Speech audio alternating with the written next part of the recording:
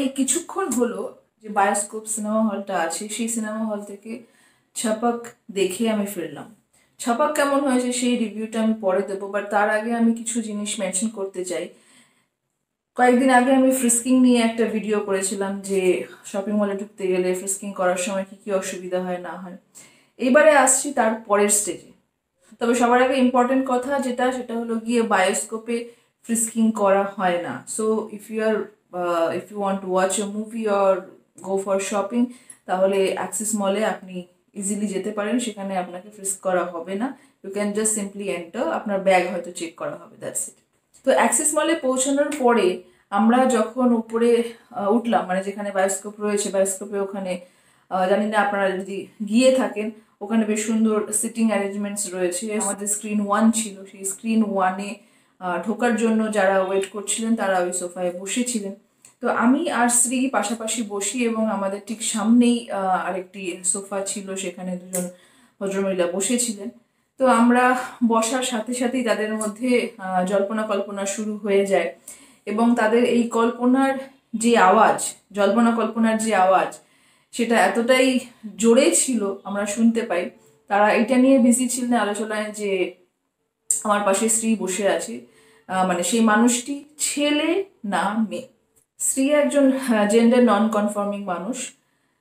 ওর ছোট চুল T shirt পরা, তার উপর লেদার জ্যাকেট ছিল জিন্স বসেছিল, আমরা কথাবার্তা বলছিলাম, আমি মোবাইলে টুকটাক ফুটকাট করছিলাম। কিন্তু আমরা তাদের আলোচনার বিষয়ে শুনতে পাচ্ছিলাম।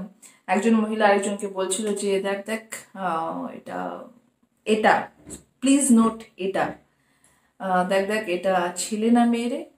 তো দ্বিতীয় যে ভদ্রমহিলা বসেছিলেন, তিনি প্রথমে খুব একটা বুঝতে পারেননি। তার বেগট্রির লেভেলটা হয়তো অতটা সাংঘাতিক নয়। তো তিনি এদিক ওদিক খুঁজছিলেন, তো তাকে পয়েন্ট আউট করে দেখিয়ে দেওয়া হয় যে কার কথা বলা হচ্ছে। তো তিনিও একটুখানি ভুরু কুচকিয়ে দেখেন, তাকিয়ে বোঝার চেষ্টা করেন মাথা থেকে পা অবধি। মানে মেয়ে হতে গেলে কি কি বৈশিষ্ট্য থাকে, থাকা উচিত এবং ছেলে হতে গেলে কি কি বৈশিষ্ট্য থাকা উচিত, সেইগুলো নিয়ে হয়তো উনি সেই সময় মানে ডিফারেন্সিয়েশন করছিলেন যে এটা আছে, এটা নেই, এটা থাকলে কি হয়, শারীরিক বৈচিত্র্য কি হয়। তো উনি দেখে টেকে নিয়ে তারপরে ঘুরে ওনার যে জাজমেন্ট মানে উনি যে এই এতক্ষণ পর্যবেক্ষণ করার পরে যে সিদ্ধান্তে পৌঁছেছেন, সেইটা জানাচ্ছিলেন। তো কি সিদ্ধান্তে পৌঁছেছেন সেটা নিয়ে আমরা খুব একটা ব্যতিব্যস্ত হইনি, আমাদের মাথা ব্যথা ছিল না। কারণ আমরা এই ধরনের স্টেয়ারিংয়ে অভ্যস্ত হয়ে থাকে। কিন্তু না, কোনো বাড়ি কোনো স্টেয়ারিংকে আমরা এড়িয়ে চলে যাইনি। বরঞ্চ আমরা যেটা করি সেটা হচ্ছে গিয়ে যখন বুঝতে পারি যে কেউ স্টেয়ার করছে এবং আমাদের নিয়ে বোঝার চেষ্টা করছে, ছেলে না মেয়ে বা দুটো মেয়ে একসঙ্গে হোয়াট এবার জানি না, তাদের মাথায় কি থাকে স্টেয়ার করছে মেনলি তখন আমরা নিজেরাই তাদের সঙ্গে গিয়ে আলাপ করি, জিজ্ঞাসা করি যে কি বলতে চাইছে। If they have any question then they can ask us directly so that we can answer কারণ আমরাই একমাত্র সঠিক ব্যক্তি তার প্রশ্নের সঠিক উত্তর দেওয়ার জন্য। তো এই ক্ষেত্রেও বায়োস্কোপে ওই সোফায় বসে বসে আমরা বলে উঠি যে উনি বোধহয় বুঝতে পারছেন না যে তুমি ছেলে না মেয়ে। তো এই কথাটা শোনার পরে যথারীতি যেটা হয় আর কি, আমরা সোফায় যতটা সোজা হয়ে স্ট্রেট হয়ে বসছিলাম, ওনারা ততটাই সোফায় আস্তে আস্তে ঝুঁকে যাচ্ছিলেন।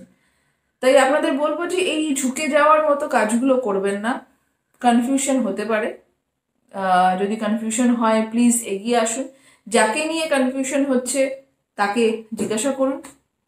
আই এম শিওর সেই মানুষটি একমাত্র সঠিক ব্যক্তি আপনার কনফিউশনের উত্তর দেওয়ার জন্য। আর দ্বিতীয় কথা হচ্ছে গিয়ে যে, কে ছেলে, কে মেয়ে বা কে কি, সেইটা নিয়ে আপনার মাথা ব্যথা থাকার কোনো কারণ আছে বলে আমি দেখি না। কারণ আপনিও ওখানে সিনেমা দেখতে গেছেন, আমরাও ওখানে সিনেমা দেখতে গেছি বা আর বাকি যে সমস্ত মানুষদের নিয়ে আপনি এই কনফিউশনে ভুগছেন, তারাও কিন্তু সিনেমা দেখতে গেছে ওখানে। তো আপনাদের সবার উদ্দেশ্য এক, সিনেমা দেখবেন। সিনেমার কে নিয়ে নিন্দামন্দ করুন, সিনেমা কেমন হয়েছে, না হয়েছে, কে ভালো অভিনয় করেছে, কে ভালো অভিনয় করা হয়নি করেনি, এই সিনটার থাকা উচিত হয়নি, এই সমস্ত নিয়ে কথাবার্তা বলুন। কারণ আপনার পাশে বসে যে সিনেমা দেখছে, তার জেন্ডার কি? তার আইডেন্টিটি কি? তার সেক্সুয়াল ওরিয়েন্টেশন কি? সেটা আপনার মাথা ব্যথা নয়। কোনো দিন ছিল না, এখনও নয় কোনো দিন হবেও না। তাই প্লিজ নিজের চরকায় তেল দিন। কে ছেলে, কে মেয়ে, সেই বিষয়ে মাথা না গলিয়ে নিজেকে ভালো রাখার চেষ্টা করুন, কারণ অন্যেরা ভালো আছে, আমরা বেশ ভালো আছি। ট্রাস্ট মি আপনাদের এই প্রশ্ন, আপনাদের এই কনফিউশন সমস্ত কিছুর ঊর্ধ্বে গিয়ে আমরা বেশ ভালো আছি। তারপরেও যদি কনফিউশন হয় দু পা এগিয়ে আসুন, জিজ্ঞাসা করুন, উত্তর পেয়ে যাবেন। That's it as simple as that তাই এই ভিডিওটা যারা দেখছেন এবং মানে কুইয়ার মানুষ যারা দেখছেন আর কি, এবং যারা স্টেয়ারিং ফেস করেন, তাই বলব কেউ স্টেয়ার করলে পরে please walk up to them কাছে যান, জিজ্ঞাসা করুন। কারণ যতদিন আমরা ইগনোর করে চলে যাব ঠিক আছে, দেখছে, ছেড়ে দে, বাদ দে লেটস গো ফরওয়ার্ড ততদিন লাভ হবে না। আমাদেরকে রিপ্লাই ব্যাক করতে হবে। তারা নিজেরা এসে কোনোদিনও জিজ্ঞাসা করবে না। তাই আমাদের এগিয়ে গিয়ে জিজ্ঞাসা করতে হবে যে, তার আমাকে নিয়ে কি প্রশ্ন রয়েছে, কি সন্দেহ রয়েছে?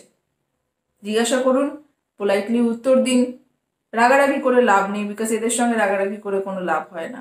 আই থিঙ্ক যে মুহূর্তে আপনি উঠে দাঁড়িয়ে এই স্টেয়ারিংয়ের জবাব দেওয়া শুরু করবেন তারপরে আস্তে আস্তেই কিন্তু এই স্টেয়ারিংয়ের এই নোংরা ব্যাপারটা বন্ধ হবে, না হলে বন্ধ হবে না।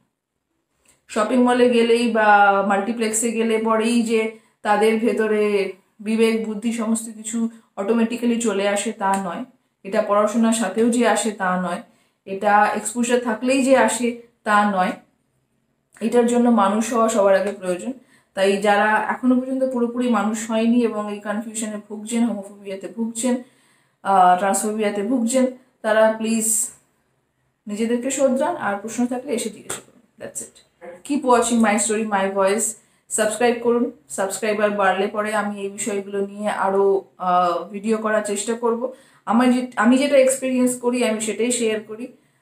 তো এখানে কোনো বানানো গল্প, গাল গল্প কিছু নেই। দ্যাটস অল আর আমি খুব একটা গুছিয়ে কথা যে বলতে পারি তাও নয়, তাই সেই দিকটা মাফ করবেন আমি খুব বড় ইউটিউবারও নই। Thank you so much